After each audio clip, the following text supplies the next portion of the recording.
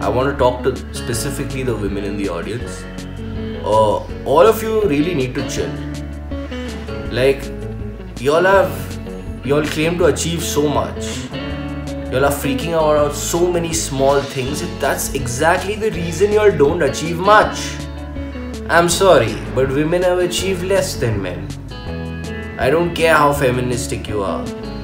But the point is that you pay attention to so many details and you freak out about so many things that men can manipulate you like this.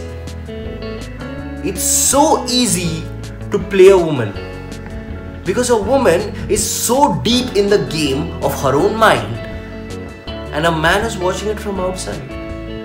He's chilling, he's relaxing, and he's just pulling her into a certain direction.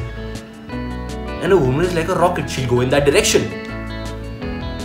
Men can get so much work done from you ladies. You have no idea that you are being manipulated. It's so easy. You, you say tomorrow, you tell a woman, oh, the house is not clean.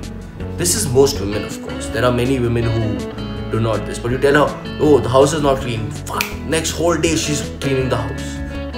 Another day, you tell her something else. She's doing that. Then she's angry with you. Then she's happy with you. Men thrive on this. If you learn to chill, men will be dumbfounded. They won't know what to do.